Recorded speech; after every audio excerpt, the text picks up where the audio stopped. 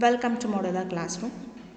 This video is about the translate option available in Microsoft Word to translate a Word document from one language to another language with just a few clicks. So it is very easy to convert a language to another language in the Microsoft Word by using the inbuilt option available in the review tab by choosing the translate option.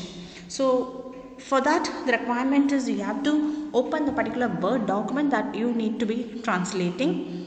So i'm open this word document. The name is reserve bank of india which consists of two pages. So i'm going to translate this english document to another language. Uh, there are two options available. That is either you can just translate this particular uh, section paragraphs or either you can choose this option or else you can choose the whole document to be translated. So first I will show you how to translate only these two paragraphs. So after selecting this just click on this review menu and choose this translate and that first option translate selection. So only this particular two paragraphs will be translated. That is it is from the English language and it is converted to Marathi and not only Marathi, it can also be converted to Malayalam. Like that, you can easily convert the two particular language and to replace these two paragraphs, just click on click on insert.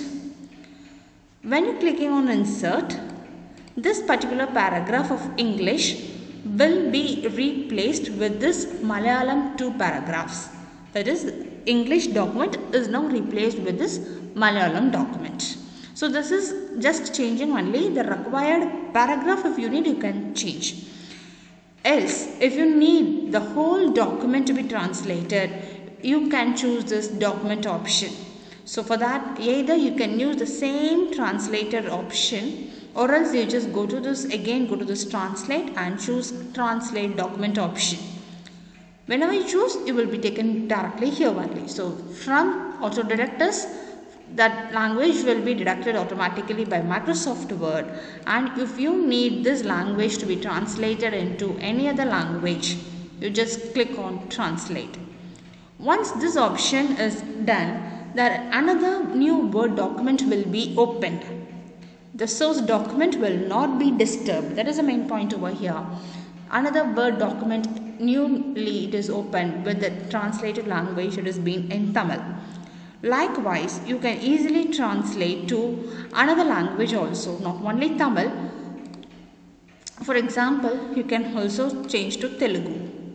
So that next another one more word document that has been translated in Telugu will be open. After it gets open, you can check it once and if you need, you can rename that particular word document.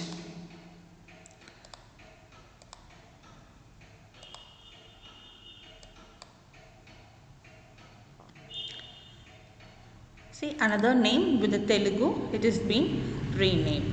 Likewise, a new document can be created with the language that is to be translated and after this you can just directly use the save option to save that document.